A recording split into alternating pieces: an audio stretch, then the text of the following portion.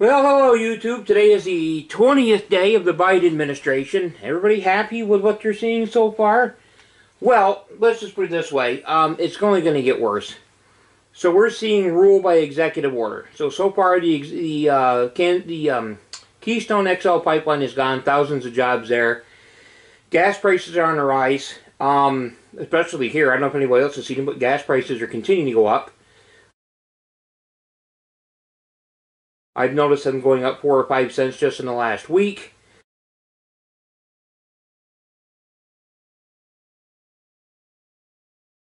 And Saudi Arabia just announced the other day that they're going to be raising oil prices.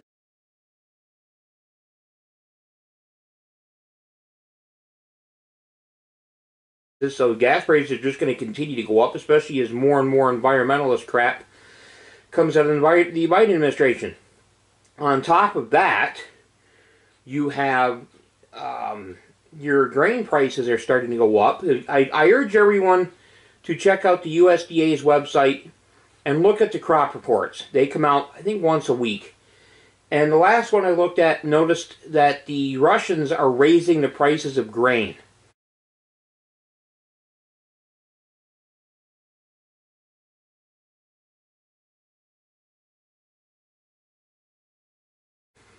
And the Russians produce most of the grain used by the rest of the world.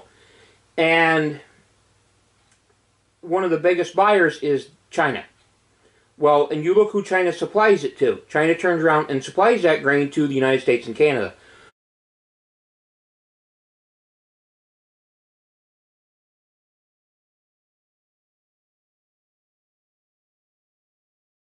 So that means if the grain prices are going up, then your food prices are going to go up. Along with the fact that the gas prices are going to go up.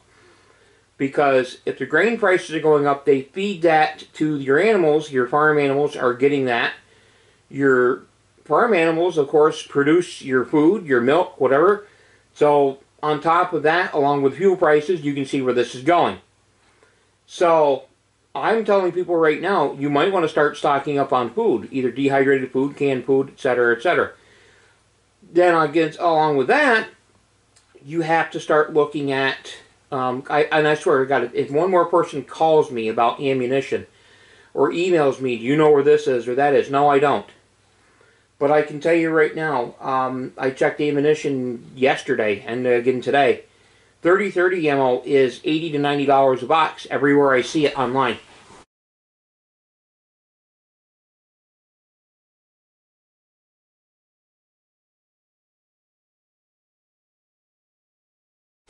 Um, if you can find it cheaper, you know, like right around average price, if that's one of your calibers you use, I would say grab it. Um, 22, forget it. I haven't seen 22 long rifle, I don't know how long. 22 short, I can run across. And I will, uh, I'm hoping to get a video out pretty soon showing where you can take a 1022 mag and modify it to fire 22 shorts. And it will work in both the 77 22s, your 77 American, or the uh, Ruger Rimfire American and your older 7722s.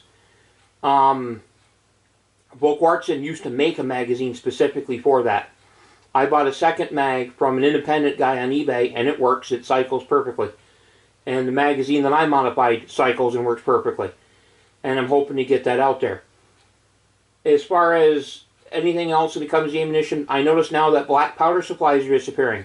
Muzzleloading supplies are disappearing. Percussion caps especially. Normally, percussion caps go for five to six dollars for a hundred.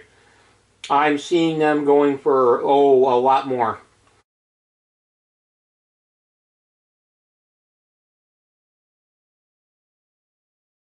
Uh, I spotted one auction on Gunbroker where a guy was selling a hundred of them, and the bids were over three hundred dollars for a hundred.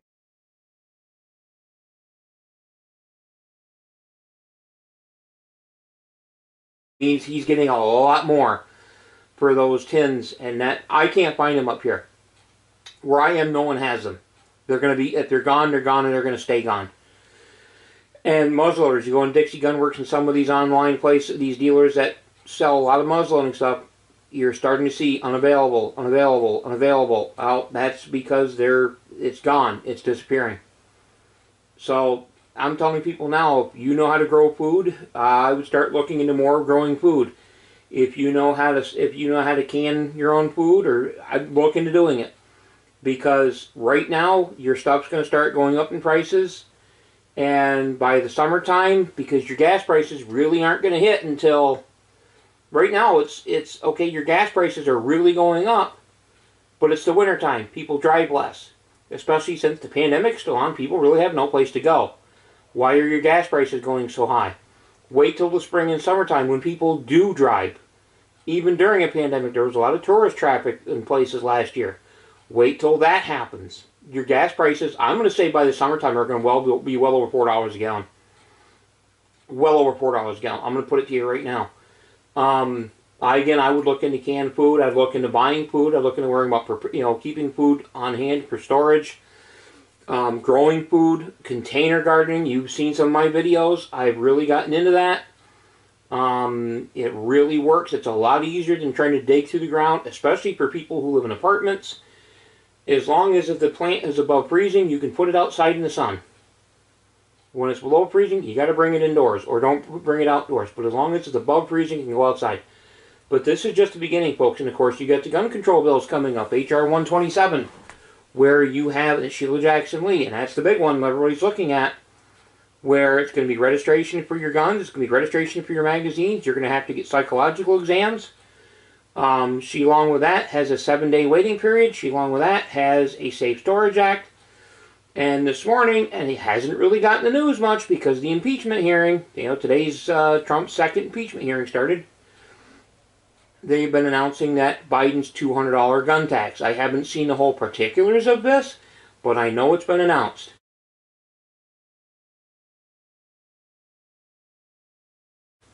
Folks, it's an all-out war on conservatism right now, and they're not stopping, and they're not going to back off. And they don't, well, why should they? And look at the Republicans. I'm sorry, you Republicans in Congress, where are you? You're not standing up for anything. You're basically just standing there. You're not opposing this. Look at look at uh, Biden's uh, cabinet positions. They're sailing through with huge margins. Hardly anyone is opposing Biden's cabinets. Look at them, the Democrats with Trump's cabinet. Everybody got opposed. It was almost a party line vote where the Republicans just barely getting anybody through. You have the Republicans now pretty much coasting Biden's cabinet people through. Despite all their differences or problems or issues or whatever they got, they're sailing through.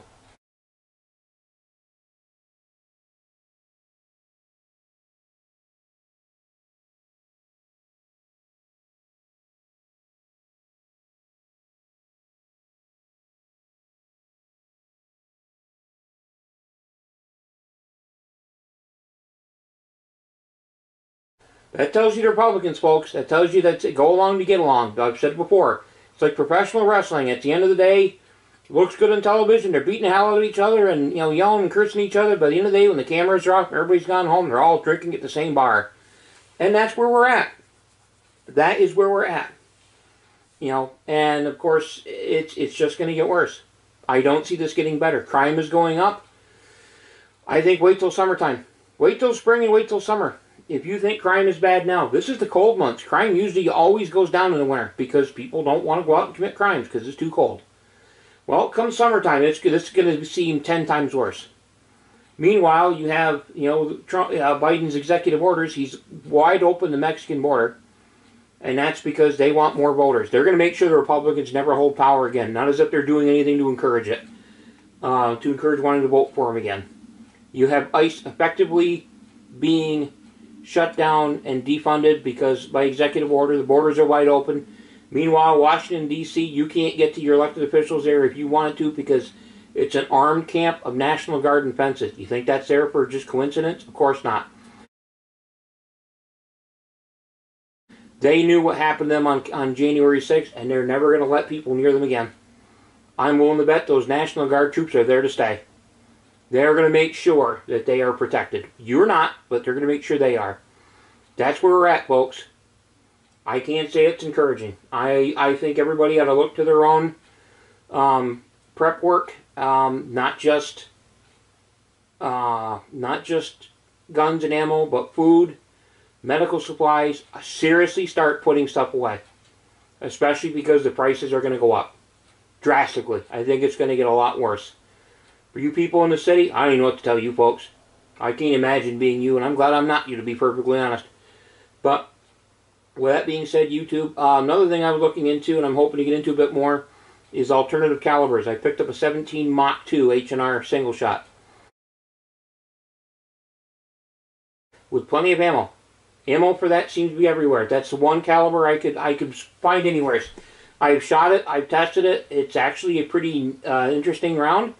I never gave it a lot of thought, and I've talked to a few guys since I got it, and they all kind of have a little light bulb go on and say, yeah, you know, we can get that. We can get ammo for that. We can get those. And it's no more than I was paying for 22 long rifle, or what I've seen 22 long rifle going for. So there's something to consider. Start looking at oddball calibers you could get. And, you know, with that being said, YouTube, going to wrap this one up. But I think everybody ought to really see, really seriously start looking to their own. And hopefully I'll get out more. It snowed a little, quite a bit today, so hopefully I'll get out when that quits and stays quit for a couple of days and temperatures warm up. And with that being said, YouTube, have a good day.